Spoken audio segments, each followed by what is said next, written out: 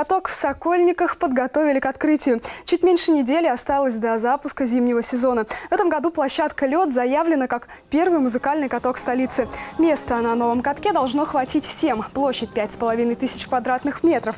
Посетителям будут доступны прокат коньков, а также занятия с инструктором. Над, кон- над катком подвесят трехметровый дискошар и включат танцевальную музыку.